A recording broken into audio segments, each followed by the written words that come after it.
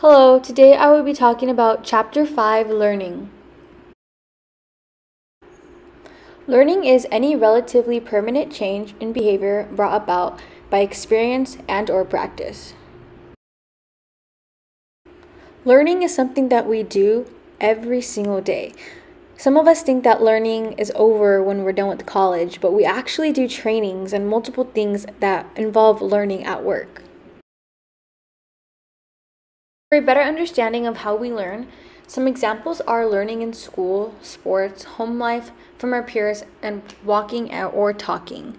We learn a lot from school, such as classes, professors, our teachers, and we also learn from playing sports as we learn how to play the sport, or we also learn lifelong skills.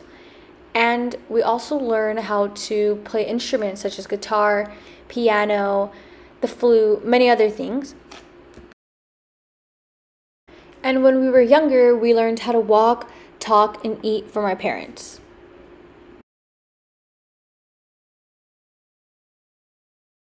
The three concepts I will be talking about today are drug dependency, punishment, and stimulus control. Each of these concepts has something to do with learning, whether we know it or not. And if we look above at these graphics, we can see a little hint of what we'll be talking about today as the drug dependency graphic is someone smoking a cigarette, punishment is someone getting um, jailed or getting put in jail, and the last one is two people opening a door. And later in the video, we'll get into a little bit more detail of what each of these things mean. So first, let's start off with drug dependency. Drug dependency is a classical conditioning applied to human behavior. And it's also important to note that the drug dependency also is affected by the people that are around you, and without the drugs, everything will become a conditioned stimulus that relates to that drug addiction or the addiction in question. The drugs in question could be stimuli such as a depressant, an upper, a downer, which is a depressant, or actually a opioid. And a lot of these drugs that fall under this type of um, stimuli are nicotine, weed, coffee, or any drug like objects such as caffeine, which is actually coffee. So, because we're on the topic of drug dependency, I would like to note the difference between addiction and dependence. Addiction is pleasurable to the person, and the person who is addicted to the drug or whatever they're addicted to cannot stop using it or doing it whereas dependence is conditioned so that the drug and or object are associated with the high and produce that same high that the object gives off. And in this real life scenario, I would like to shed light on the addiction to coffee. And my little cousin will be doing an example of some symptoms one might get when they are off or withdrawing from coffee. I can really use a coffee right now. This paper is killing me. I haven't coffee in two days and I'm having a migraine. I'm so tired. Wow. I'm feeling dizzy. And for another example, I asked my Instagram followers and friends how they felt without caffeine. So I did a research type of survey and I asked the question How do you feel when you don't drink a coffee or a green tea and I gave them the two options of I have no energy and I have a headache because those are some symptoms of coffee withdrawal or coffee dependence.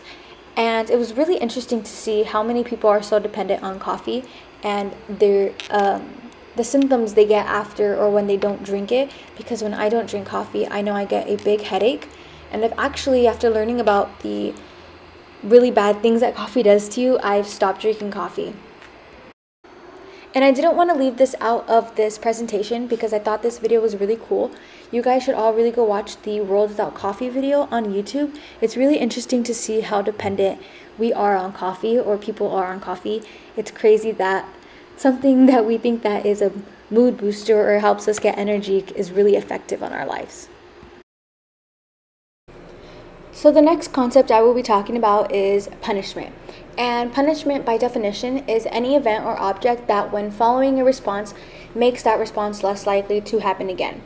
And we see punishment being used a lot in um, parenting, such as spanking a child is considered punishment, and can re- actually result into resentment towards the parent and bullying or violence towards the child's peers. And we also have um, two types of punishment punishment by removal and punishment by application.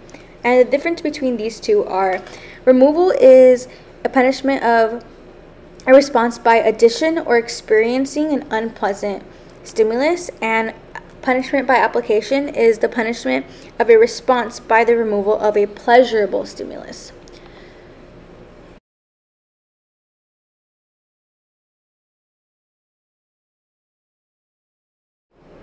And in these two graphics, we actually see positive punishment and negative punishment.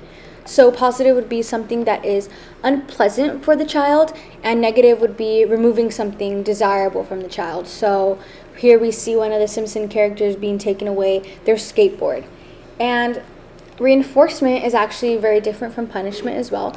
So, behavior will increase with reinforcement, or behavior, negative reinforcement, a stimulus is removed, the behavior will increase. And for punishment, the behavior is decreasing every single time.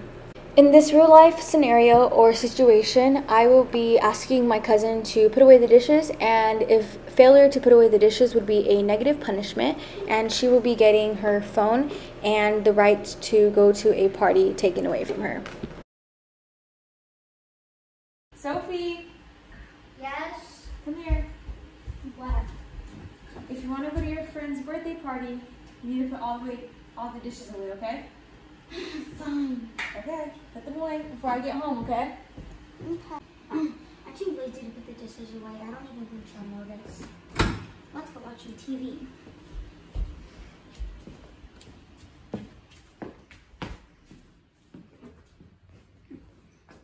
See? Work.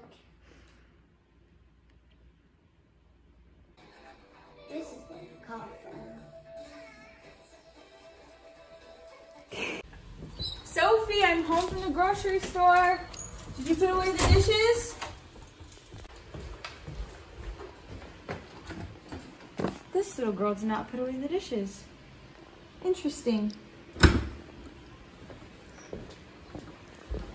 So, oh my goodness, she's sleeping. What?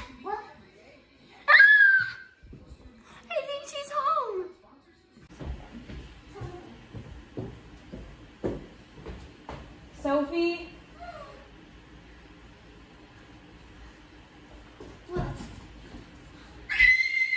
you forgot about the dishes? You don't understand. So, because you didn't put away, put away the dishes, I'm taking away your phone, and you're not going to your friend's party. What do you mean? I don't have my phone. Hand me your phone, Mm, Fine.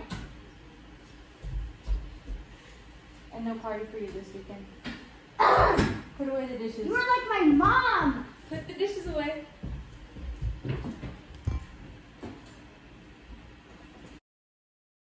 So, from this example, we learned that a negative punishment is removing something desirable.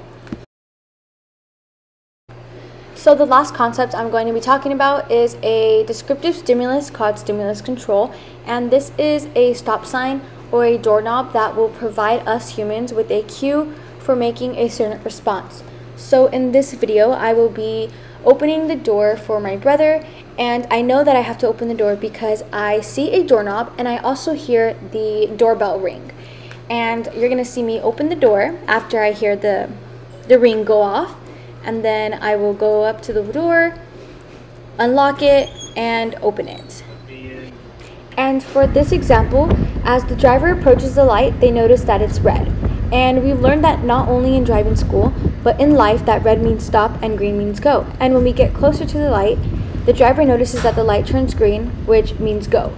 The driver then proceeds to making the left turn.